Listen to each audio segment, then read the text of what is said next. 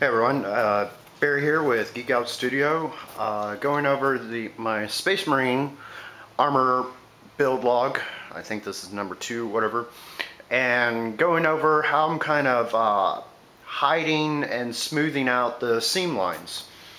Um, what I did was I just used this uh, DAP wallboard uh, joint compound and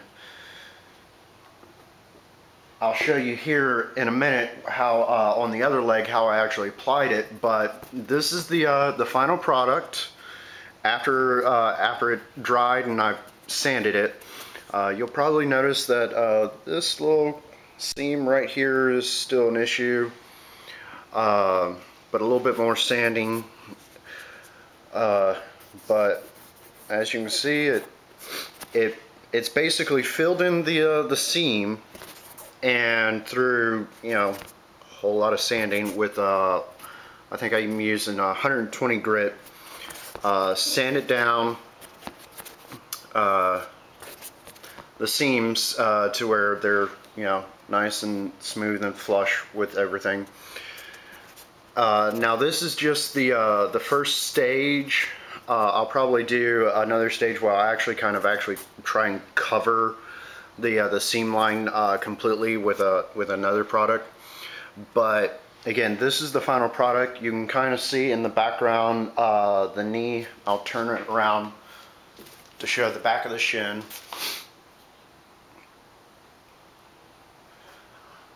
So but basically The joint compound is going to go in and basically like this seam right here, it'll it'll fill in and help smooth that out. Uh, like this, you can see how there's a bit of a canyon almost right there.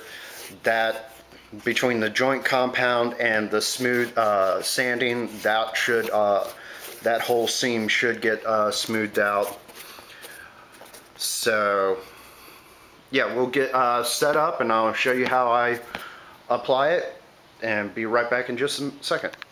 Okay, for this process, pretty much you're just going to need a, uh, a medium or small uh, putty knife.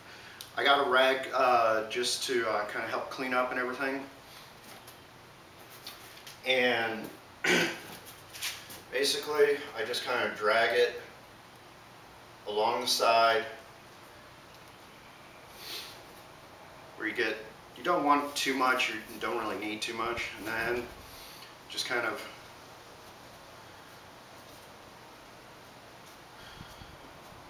like you would any other uh, spackle or other uh, drywall compound. You just smooth it on there, kind of like buttering toast if you would. And if you get any See like we got a little blob up here, that's where you just take your, uh, your rag, and this stuff is pretty wet, and you just wipe it right off. Uh, and as you can see, I'm actually going across the line, not down it, uh, because again, I want, I want the seam to uh, get filled, but I also want to try and uh, fill it and even it out with the other part of the armor. So like this seam, there's a bit of a, a raised between this side and that side, so I'm just going to try and fill that in.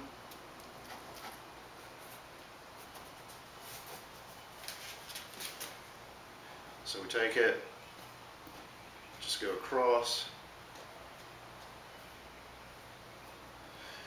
And this stuff sands very well, so you don't have to be overly, overly professional and clean about it. Also, um, it will uh, return to a paste at, even after it dries uh, if you apply some water to it. So there's there's a bit of that added property bonus, whatever you want to say. So, but just go cross all the seams. And then come back and sand it. So, hope this uh, helps. Uh, let me know what you think. If you have any questions or comments, leave them in the comment section below.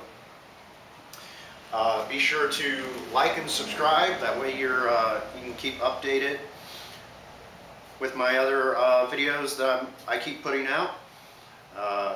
And also be sure to share this uh, for all the other armor builders out there. So till then, I'll see y'all next time.